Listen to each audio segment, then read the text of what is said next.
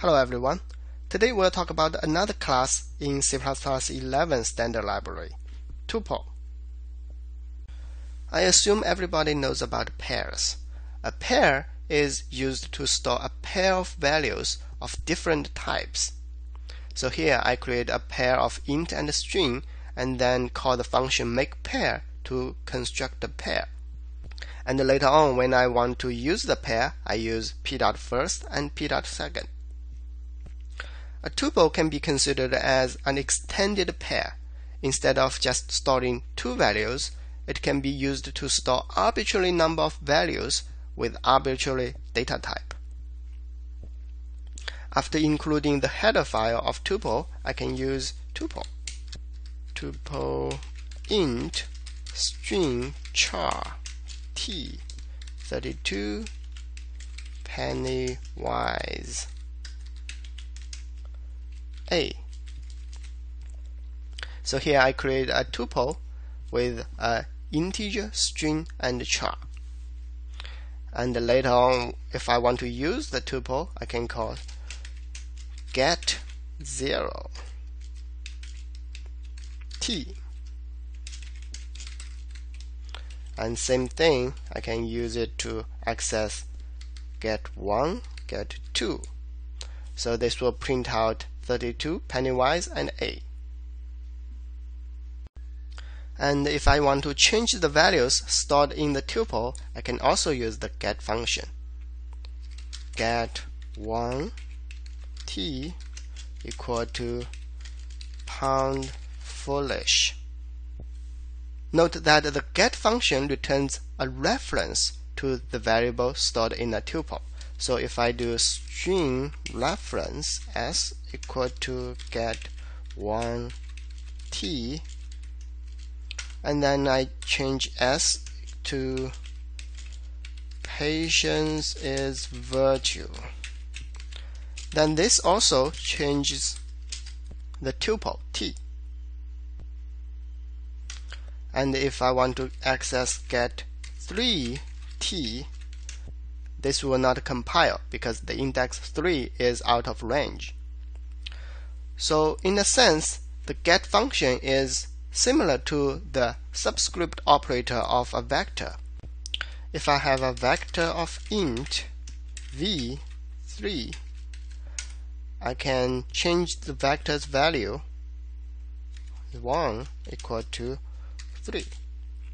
So the subscript operator also returns a reference to the variables in the vector, just like the get function. But what's different is the index for the get function must be a compile time constant. So if I have an integer variable i equal to 1 and I want to get i t, this will not compile i is not a constant. So let's comment out this one because this is out of range and also comment out this one because this i must be compile time constant. In the first example, I have created a tuple and initialized it with these values but I can also create a tuple without initializing it. And now every member of the tuple is constructed with default constructor. And later on, I can create another tuple and assign it to T2. int string char 12 Curiosity kills the cat. To make our life a little bit easier, the standard library also provides a convenient function make tuple so that we don't have to type every data type. Now we have a tuple of t and t2 and they contain the same data types so we can even compare them if t bigger than t2 this will does lexicographical comparison. We print out t is larger than t2 and this will indeed print out t is larger than t2 because 32 is larger than 12 and we can even do assignment t equal to t2 this will perform member by member copying copy everything from t2 to t. Now let's talk about a very important feature about the tuple. A tuple can store references. This is kind of unusual because none of the STL container can store references. They always use copying or moving.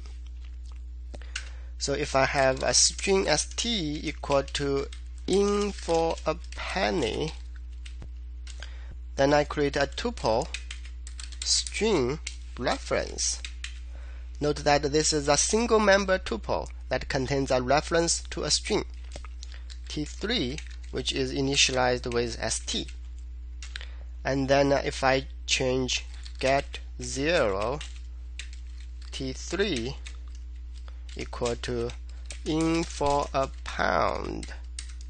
Now st also contains in for a pound.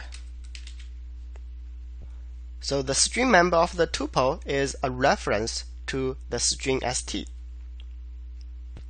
If I want to use the make tuple function, I can do t3 equal to make tuple ref st. I need to create a reference wrapper for st and then pass it to the make tuple function. Now, the tuple t2 contains an integer, string, and a char.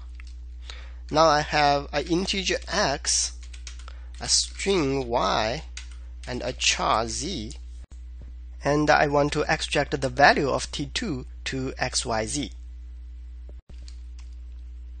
What I can do is make tuple ref x, ref y, ref z equal to t2. As a result, x contains 12, y contains curiosity kills the cat, z contains d. And since this operation is very important, the standard library provide a dedicated function tie which does exactly the same thing.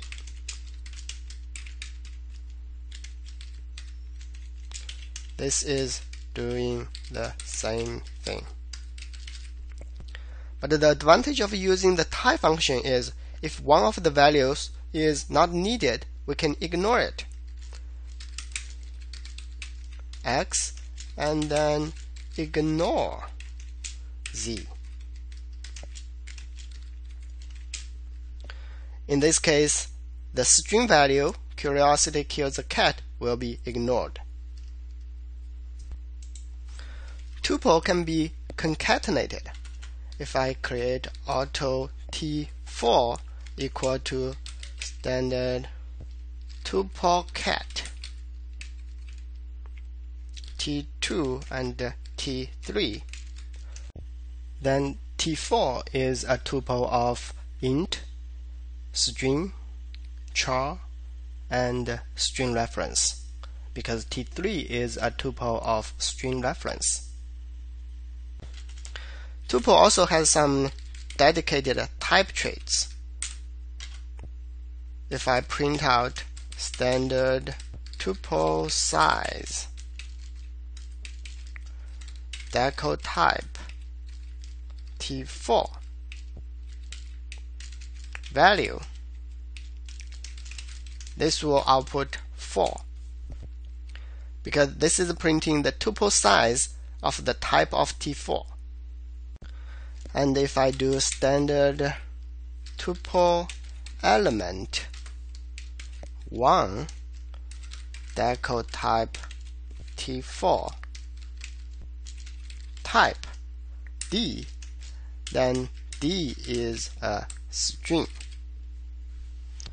Because the element number 1 of the type of t4 is a string.